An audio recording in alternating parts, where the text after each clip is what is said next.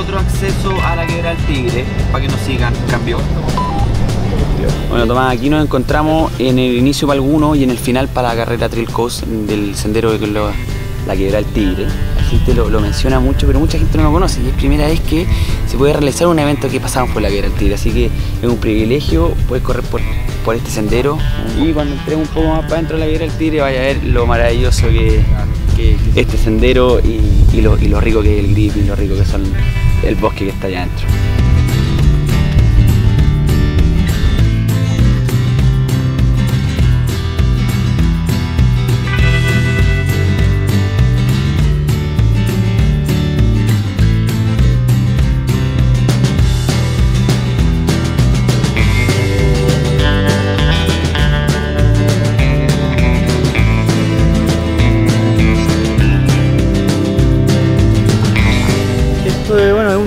Dentro de la que era el Tigre, que, la gente la, ha llamado eh, de las llanas.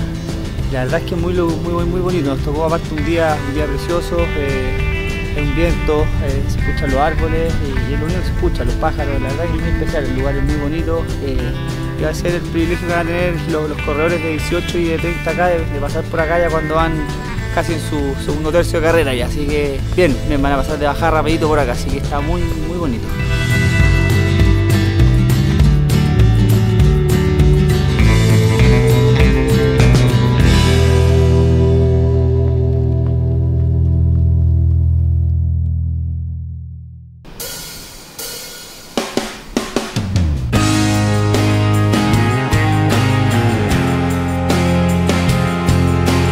Aquí nos encontramos en el sector de Cachagua, específicamente en el Parque Aguas Claras, en lo que se llama frecuentemente como los siete portones, parte de, todas las rutas de, de Trail Coast.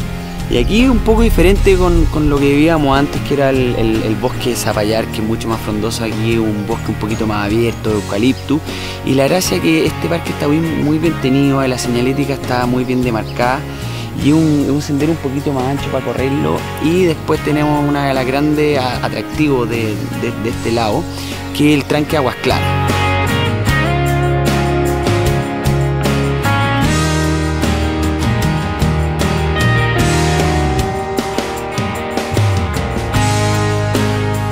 Esta carrera tiene un sentido muy bonito que es la recaudación de fondos para la corporación Bosques de Zapallar que hace conservación de los bosques de la zona. Conservación y educación medioambiental que es muy importante para, poder mantener eh, esta biodiversidad de este bosque mediterráneo costero que tenemos en esta zona.